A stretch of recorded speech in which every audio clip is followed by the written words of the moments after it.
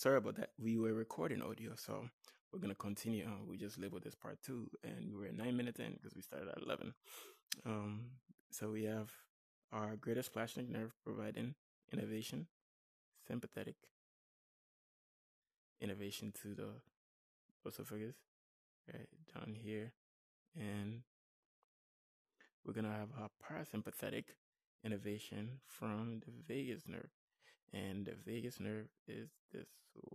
Okay, not you. I know you're right around here somewhere. So we'll see the vagus nerve on the left. So it runs right next to the esophagus. And what's important to note that so this is the left vagus nerve. And the reason why we couldn't see the vagus nerve on the right is that I think it might be this one. Nope. So we have our left going all the way down and it will supply parasympathetic innervation to the esophagus. Now, greater splanchnic, sympathetic, vagus, parasympathetic. All right. Now let's turn our attention around the back, spin this model.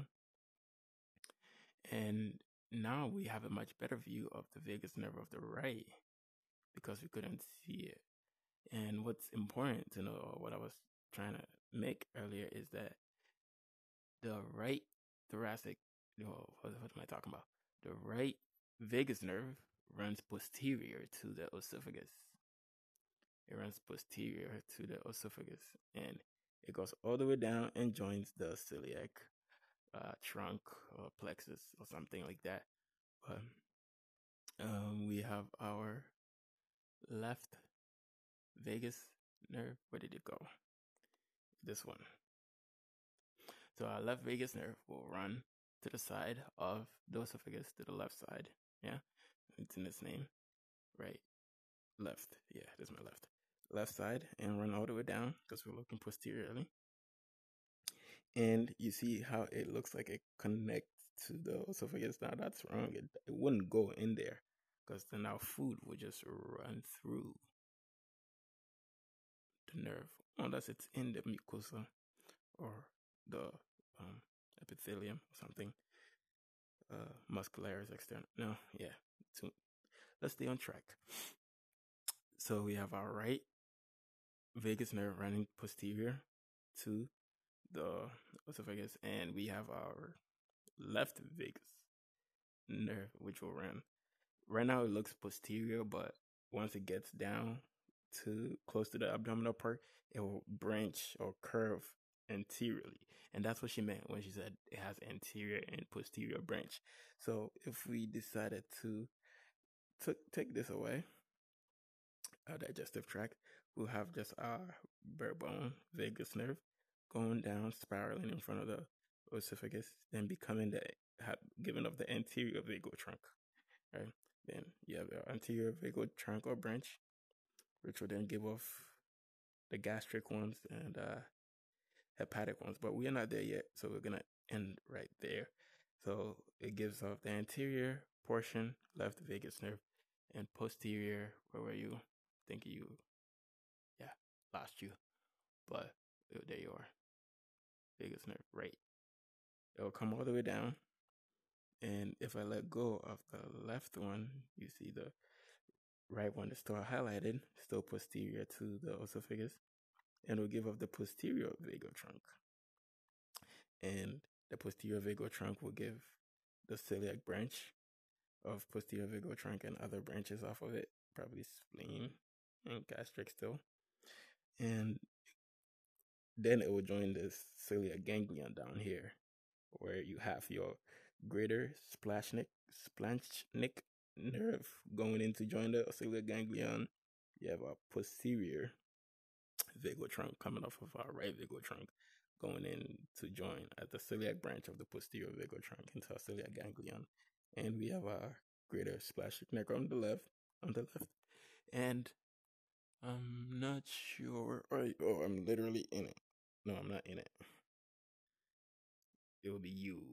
Yeah, left vagal nerve. That does not connect to the celiac trunk, I don't believe. Oh, good to know. So, there you have it for innervations. We could pop this one back on, and you know our right vagal nerve, vagus nerve will run behind it, and our left will run in front of it because it comes from the side and curves in front of it. So, anywho, we will back up, and I will complete our uh, six minutes. Uh, everything for our esophagus. Uh, precipitated for or recurrent laryngeal nerve. Okay. So one thing she did say is that it could be vagus nerve or recurrent laryngeal nerve. So for parasympathetic innervation, so we just locate the paras uh, recurrent laryngeal nerve, which is yang it. I wanted to do it first try, right here, and recurrent laryngeal nerve. Uh, this is the left recurrent laryngeal nerve, and you see this loop here. This is the aorta. This is the abdominal aorta arching over it. So on the left side, the recurrent laryngeal will loop under the aorta, and it's not symmetric on the right side because there's no two aortas. It's only one, and there's phrenic. Let me find you. Let me find you.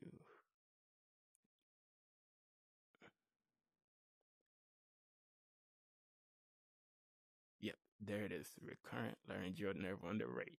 And you see how the left one goes all the way down and loops down around the aorta. The right one, and not symmetric, will loop around the, I think the subclavian on the right, the right subclavian artery, which obviously comes off the aorta. So you have the right recurrent laryngeal uh, looping under the subclavian and it's not symmetrical to the left. So that will also give off, um, what do you call it?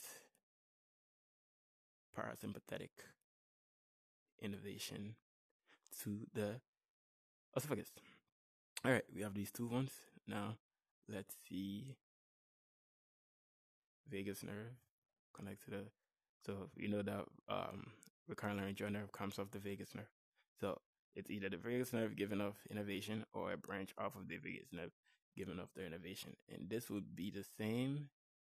Let me find the vagus nerve. What am I holding on to then? Okay. Recurrent laryngeal. And that will come off the vagus on the left. So we know they both come off the vagus on each side. It's just that how they route around the body is different. And um, we have only two, so I guess we could spare our arteries. And as we said, this is our recurrent laryngeal on the right, and it's going under the subclavian or the brachiocephalic, right around that junction.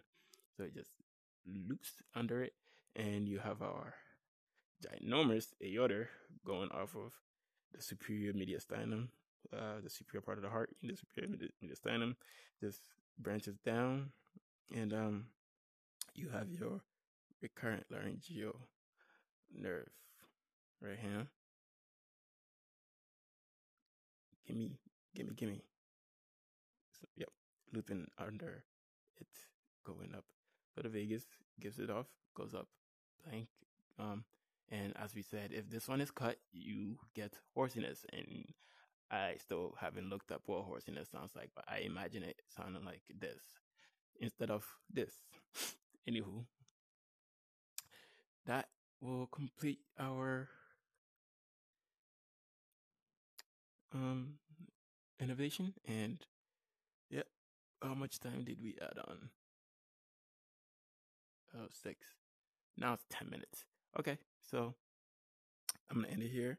So it's short. You guys can save time watch at two times speed you know um all that good stuff. Uh get it out of the way. I Say something that I wanted to say? Carl Angel. Da da da.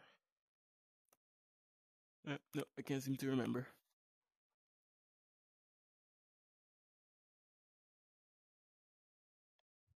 Okay. Well, happy studying.